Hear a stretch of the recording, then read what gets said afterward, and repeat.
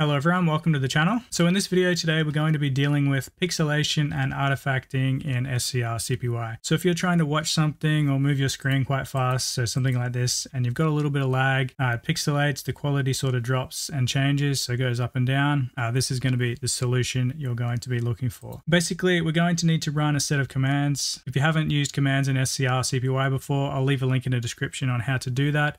But for this video, we're going to be going through the commands that you need to use. So this is our string here that I'm going to be using.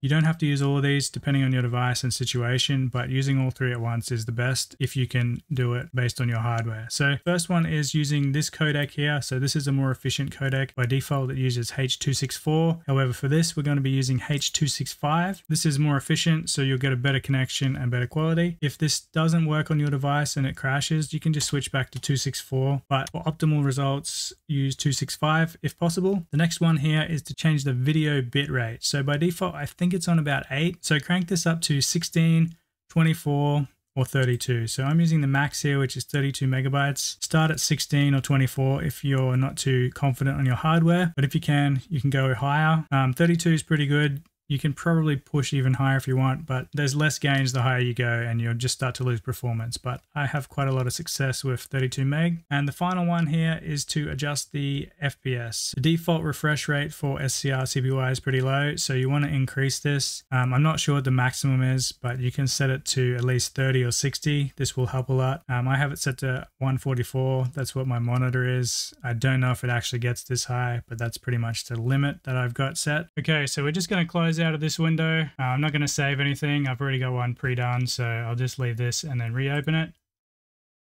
Okay, so that's my version of SCRCPY going at the moment. So I'll just open up the news app and see what it looks like.